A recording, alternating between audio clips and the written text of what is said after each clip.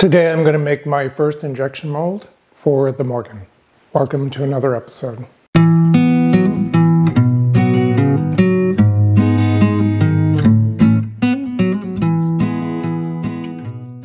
I had been laser cutting uh, some parts out of clear acrylic, as you can see here. And there are a few things I didn't like about using this uh, clear acrylic. One is I hate cutting acrylic on a laser cutter. And the reason I hate cutting acrylic on a laser cutter is because the fumes. I don't like the fumes. One of the things I discovered is that uh, my eyes were starting to water. I have a fan, an exhaust fan that does a really good job of exhausting the fumes outside, but it doesn't exhaust all of the fumes. And so there were enough residual fumes that it was really bothering me. So I decided to make an injection mold for this part instead of laser cutting them. And the part is too large for me to make in this machine. And on this machine, there's plenty of size for the part, but the, the clamp itself is only two tons, I believe, and that's not quite enough for this part. All of the molds that I've made so far have been parting line molds. This is the parting line here, the surface. So in other words, when I put the, the two molds half together, the parting line is a flat plane that represents the difference between the core and the cavity side of the mold. And then the plastic is injection, injected through the parting line itself. The Morgan, on the other hand, injects the plastic through the back of the mold or the top and then into the mold itself. This is done with a tapered sprue right here, which uh, I will show you on the computer in more detail. And then the bottom is a gate. This is what I'm going to use uh, for my mold. There is another, another type of mold where the large side is on the bottom instead of the top as it is here. So this would be smaller than you see now, and then it would be much larger on the bottom, leading into a runner. And then the sprue comes out this way from the mold. For molds where the sprue comes out the, the, the top or the back, the Morgan comes with the sprue bushing. And let me show you a close-up. You can see there are some dimples along here. And the purpose of the dimples are so that when you take this mold out of the machine, you can twist this and it will grab onto the sprue here and then twist it off at the gate. So then you can just pull it out and then open the mold and pull the part out. And you'll see that once I get the my mold built and working. Both of these molds came with the machine, and they're both uh, a type of mold that is useful for small runs. You pull the mold out of the machine to remove the part, and then you have to put the mold back in the machine. And you can see the sprue bushing fits on both of them. So I use the same sprue bushing and just move it from one to the other. This is the injection mold that consists of two halves plus the sprue bushing that I modeled up. I'm going to start by doing a cross-section analysis of the top so that you can see how this works. And I'm trying to get close to the center there. This shows you how we have a bushing on the top, and then we have this taper down here. And You'll notice that this taper, the starting diameter is a little bit less than the sprue, and that's because the sprue may not be aligned perfectly, or I should say the bushing. And we want this to be able to push out through the top. This then comes down to a ball end, and then this is the gate that injects directly into the part. So if I hide the, the bottom, you can see the back of the part, and you can see how this is injecting the plastic directly into the middle of the part itself. Let me turn off the analysis and then turn back on the cavity and get rid of the two parts here. And just give you a quick overview of how I made the mold. Uh, so the mold has the part here, and then I just did a Boolean operation to remove that, to cut out that part. Over here, I have air vents at the extremes. So the plastic is going to be injected right here and then flow along this way. And so I wanted the air to be able to escape at the extremes. These are about 1.5 thousandths of an inch deep right there, which is not thick enough for the plastic to flow through it. And then this is deeper here just to, to make sure that the air doesn't have any resistance going through the rest of the vent. These are screw slots because I'm going to use uh, screwdrivers to pry the mold halves apart. And then this is for the alignment pins, which are just quarter inch uh, dowel pins. So it's a fairly straightforward mold to make. And uh, the next thing was to do the cam operations, which are all fairly straightforward, except for how I did the sprue itself up here. So this part is fairly straightforward. It's just, you know, cutting out the, the pocket. And then here is where things got a little bit interesting. Probably the best way to do this, uh, from what other people have told me, is to use a tapered reamer. I didn't have one at the time, but I did happen to have long reach 1 8 inch diameter end mills, both ball and flat end. So I used a flat end mill to cut the, most of the pocket, and then I used a ball end mill to make the sides smooth. And I used horizontal passes because I want to be able to twist this and then pull it out. So these two operations, as you'll see, worked quite well. There was a little bit of chatter I could hear, probably because the end mills were sticking out so long, but it did work. On the back side, we have the gate. And so there are two operations that are used to cut the gate. The first one is this contour operation, which is using a 1 32nd inch flat end mill goes and cuts out the pocket here, or the gate, I should say, uh, up to the part that was cut with the 1 8 inch ball end mill. So if we take a look at that operation, the bottom is set to right there with an offset of uh, negative, uh, 10 thousandths of an inch to make sure that it cuts all the way through. And then there's a second operation using a 132nd inch, roughly, uh, ball end mill, and that smooths the surfaces a little bit. Plus it also just kisses this edge here. So if there are any burrs that are left over, it uh, removes the, the burr there. It's kind of like a miniature chamfer, but uh, without actually modifying the geometry. Uh, the rest of the CAD operations are fairly straightforward. Um, it takes a little while because I'm having to go all the way down to 132nd inch end mills to remove the material in these sections here. I started with the bottom half and then I want to hit it to make sure that it's set all the way on the parallels and I'm making sure that the parallels don't move. I cut the stock longer than I needed so this is milling it to length. This is using a 3 16th inch diameter Alu Power end mill which is really great for milling aluminum to rough out the pocket.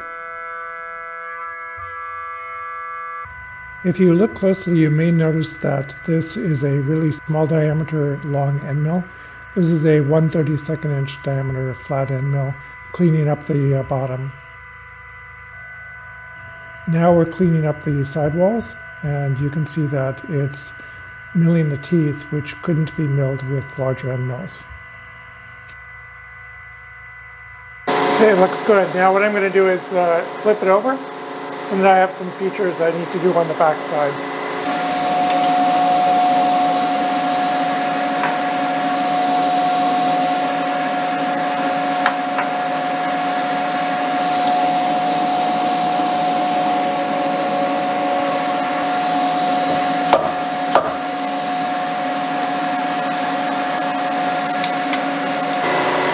At this point, I, I moved the uh, zero to here. It used to be over here. So I'll just pick up these two corners, and I don't have to pick up the height because it's pretty much the same. Plus the features back here, which is just one in the center, is not very precise.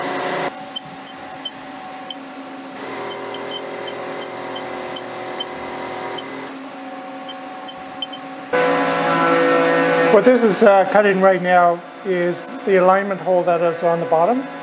This alignment hole goes on top of a alignment screw that is on the Morgan and that will ensure that I put the mold back in pretty much the same place each time so the nozzle would be aligned. I finished up the, the second side uh, off camera And what I'm going to do now is flip it over and uh, mill the back. And the back is where it, it, it, may be, it's probably hard to see, but there's a tiny hole here, which is the gate. And then when I flip it over, it's going to mill the, uh, the tapered sprue that goes from the back and feeds into the gate.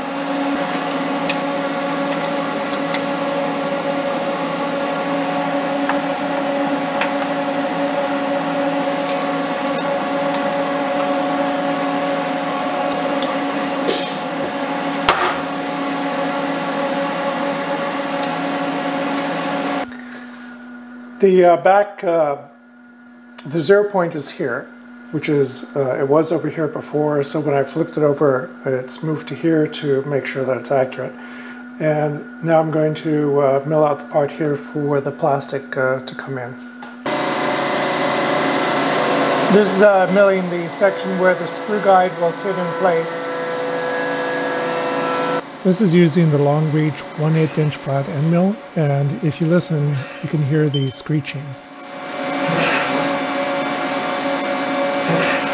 The next one is going to be uh, the ball end mill and it also screeches a little. So I know that it worked because uh, there's no uh, coolant left in here. It all drained down through the pocket. Pull it out now and have a look, but um, should be ready to put in the machine and give it a try. Here's the, the center of the plate and uh, the diagram showed a pin in here and it turns out it's just a screw, a low profile screw. So all I have to do is screw this in here and that will give me the alignment that I need. And now, if I take my mold and put it on there, and see how it fits. Perfect. So that means I can put the sprue bushing in here, and now what I can do is adjust the, the height with the toggle clamp. So I see I need to go up a few inches, so I'll release the clamp. To make it easier to move this up and down, I created a, a 3D printed part that goes onto a regular hex wrench with a, a handle that rolls. So now I can put this in here.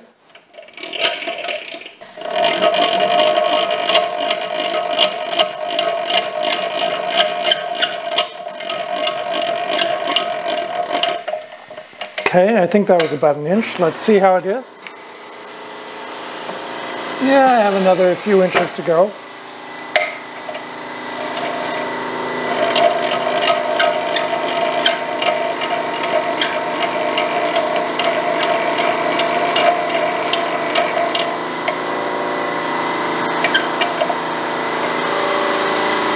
Okay, well, I didn't see that coming. It's all the way up and uh, it doesn't fit. So what I've discovered is that I need a spacer to make it thicker. So I found a, a piece of one and a half inch thick aluminum, which is uh, three inches wide, so it's the same width as the mold. And it turns out that this is just enough so that uh, when I clamp it,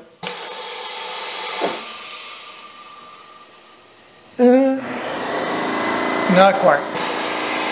Okay, so I need to uh, put it down a little bit.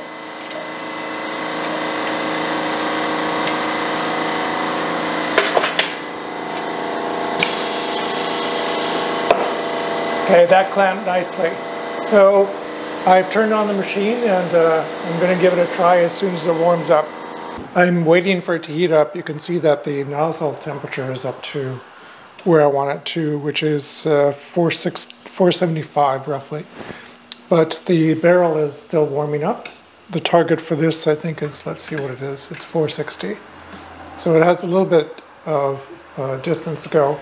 I've also set the clamp pressure to a little bit less than 8 tons, which is the maximum I can use without uh, changing the configuration.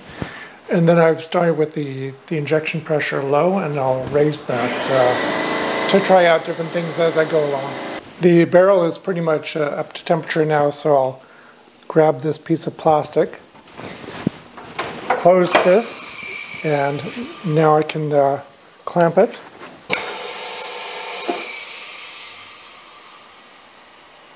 And it didn't, um,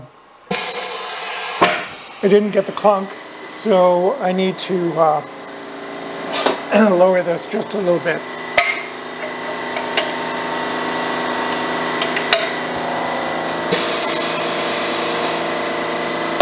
There we go so let's uh, give it a try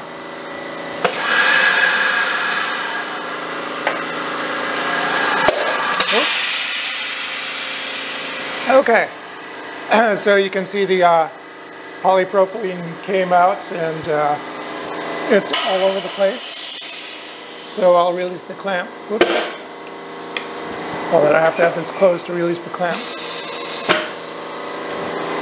And uh, I'm gonna let that cool off. Okay, let's have a look here. So first I'll break off the uh, sprue and the sprue came out completely, which is great, and it also comes out of the bushings, so that part worked. Now let's uh, pull this apart um, and see what we have.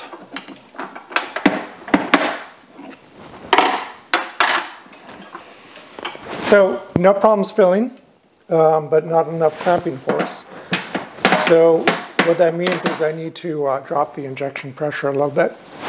So let me pull this out and you see no problem at all coming out. I was having a lot of problems with flashing. In other words, the pressure was sufficient to push the mold halves apart and the plastic was coming out the sides. I had the injection pressure all the way down as far as I could go and it would still work. It seems like uh, two on that scale for injection pressure is the lowest I could go. And that wasn't low enough, at least that's what I thought. And then I discovered that there's, uh, or remembered I should say, there's another control on the machine. Let me show you that. This control right here is a flow control valve. And I have it right there at the moment, which turned out to work pretty well.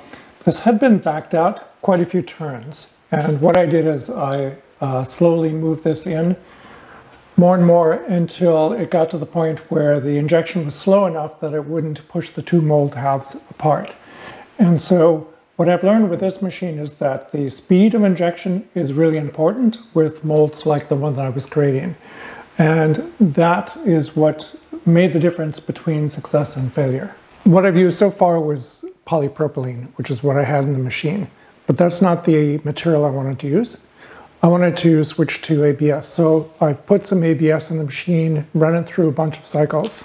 This is some black ABS. And after adjusting the pressure, uh, I should say the, the injection speed, I am now getting shots that work pretty well.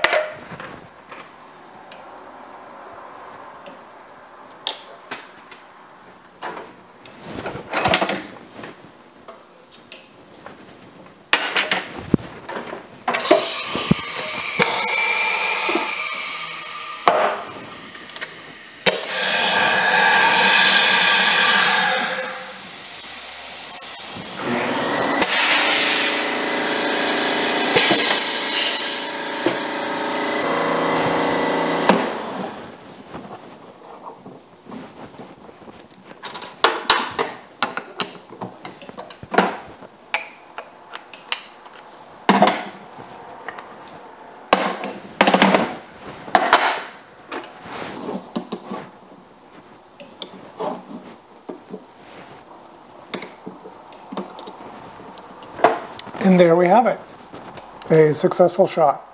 There is some discolorization,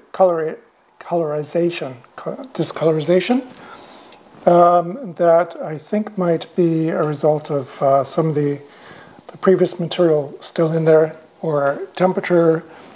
I'm going to need to have a look, but uh, as you can see, it turned out pretty well.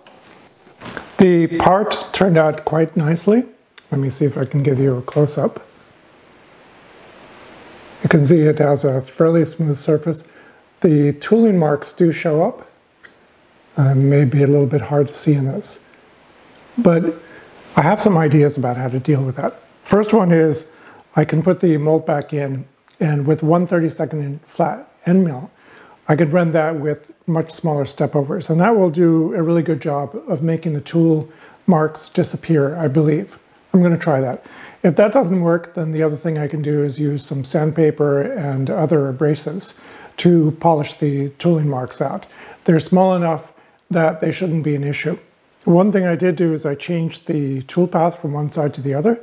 So the toolpath is much more obvious on one side than it is on the other.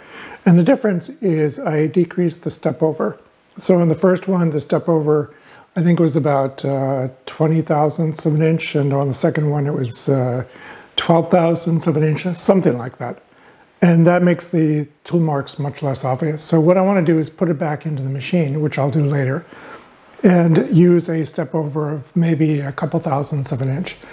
If that doesn't get rid of the tool marks, at that point it should be really easy to polish them out. I hope you enjoyed this episode.